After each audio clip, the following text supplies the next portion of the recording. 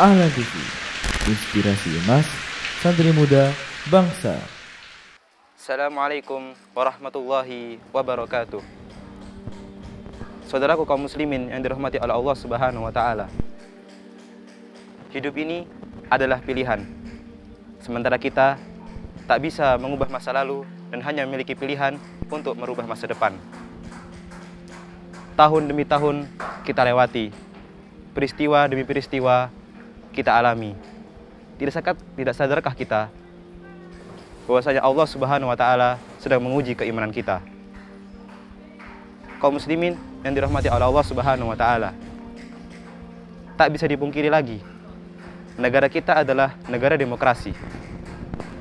Yang di mana akan diadakan pesta demokrasi setiap lima tahun sekali. Namun, di situlah juga kita bisa mendapatkan satu pemimpin yang akan membina negeri ini. Tapi, atas ada satu hal yang perlu kita garis bawahi. Kita harus memilih seorang pemimpin yang ideal untuk menyebarluaskan maslahat yang luas dalam kehidupan bermasyarakat maupun bernegara. Lalu seperti apakah kriteria pemimpin yang ideal itu? Yang pertama tentunya adalah seorang yang muslim. Orang yang muslim adalah orang yang beriman kepada Allah Subhanahu wa taala. Sehingga Allah Subhanahu wa taala membantunya dalam segala urusannya serta memberikan taufik kepadanya. Kemudian yang kedua adalah seseorang yang adil. Pemimpin yang adil tentunya akan dicintai oleh rakyatnya.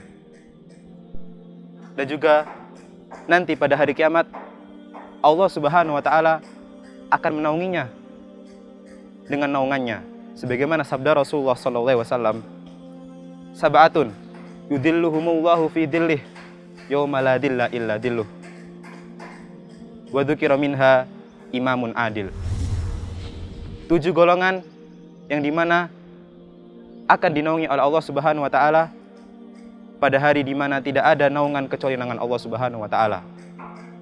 Disebutkan di dalamnya imam yang adil. Kemudian yang terakhir adalah seorang yang amanah dan juga memperhatikan urusan kaum muslimin. Amanah adalah salah satu sifat yang wajib dimiliki oleh setiap pemimpin. Dan juga termasuk dari kewajibannya adalah memperhatikan urusan kaum muslimin. Semoga siapa pun nanti pemimpin yang terpilih adalah pemimpin yang terbaik dan kita rakyat harus selalu mendoakannya. Imam Fudail bin Iyad pernah berkata, Jikalau aku memiliki satu doa yang mustajab, niscaya akan kudoakan para pemimpin. Semoga Allah Subhanahu wa taala memberikan kita pemimpin yang soleh, pemimpin yang memperhatikan urusan umat, dan pemimpin yang baik di dunia maupun di akhirat. Wassalamualaikum warahmatullahi wabarakatuh.